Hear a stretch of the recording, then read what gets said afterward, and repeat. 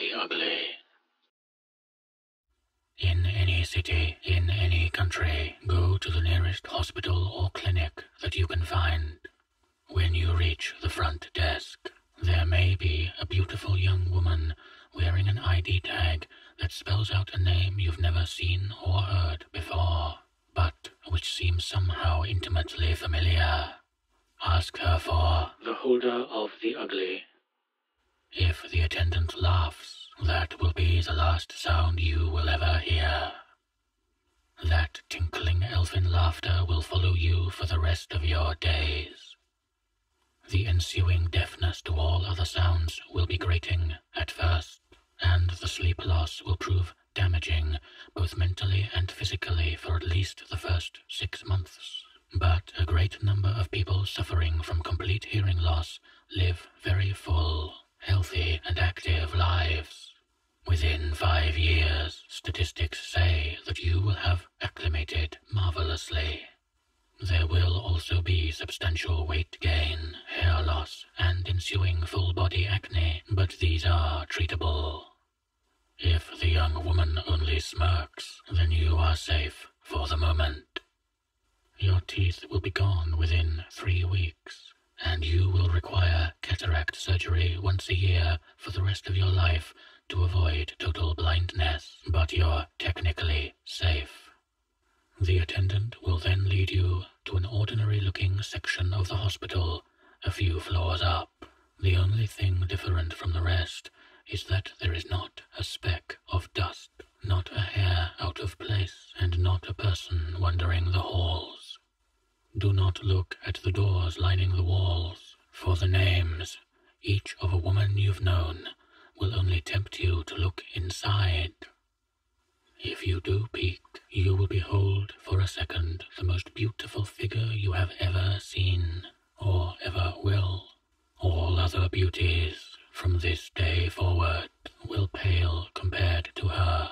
After getting any eyeful of the occupant, it would be wise to avert your gaze immediately. There is no record of what she becomes. The only thing those who survived could do was scream until their dying day. Some of them became very adept at biting off their own extremities as well. At the end of the hallway, the attendant will turn to you. If she laughs once again, the test is over. No god can save you. Although knee and hip replacement surgery techniques are much more impressive now than they were only a few short years ago, and the loss of a quarter inch in height each month is survivable for a surprisingly long period of time. If she does anything else, you're on the right track. At this point, the attendant may ask you questions, give you a riddle, or even attempt to seduce you. Feel free to engage with her mentally or physically as you see fit, but I would suggest avoiding any topics that might cause her to laugh. She will eventually unlock the door at the end of the hall on the left titled Burn Unit and walk back.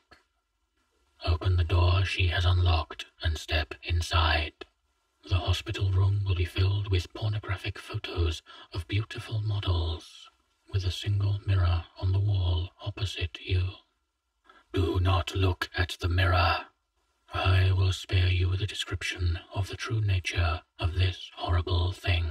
Suffice to say, the lowest circle of hell would be a welcome respite from the sight you will see.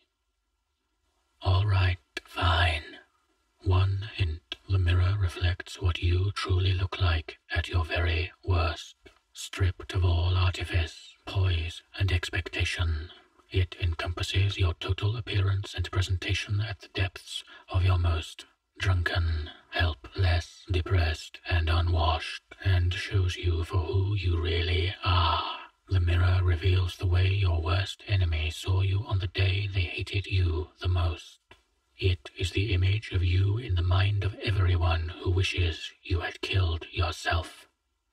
If you've ever had a single nagging doubt about yourself, you really don't want to take a look. Avoid the photos as if they were of brutal executions. In the center of the room, there will be an attractive, forty-ish aged woman asleep on a hospital bed with an exquisite form and luscious hair.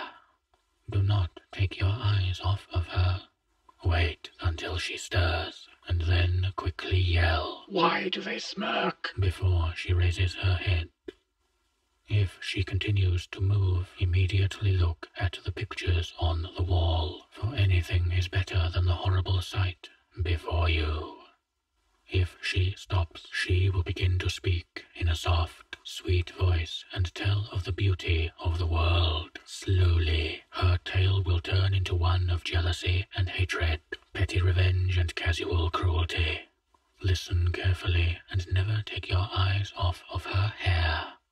She will discuss in condescending tones what makes the world beautiful, and will laugh as she explains at length what the thin, dim glamour of glitter and sunlight truly hide. When you hear the word ugly, cover your eyes.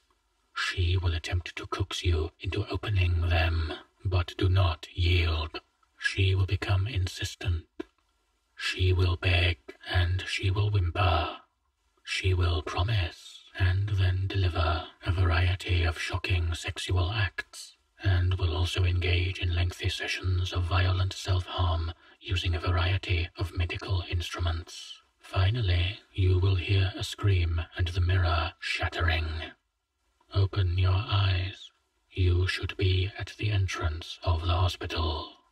The attendant will ask you why you look so tired and flirt with you. Ignore her and reach into your pocket. There will be an envelope there. Do not open it. Do not hold it up to the light to see inside. There is only a photograph.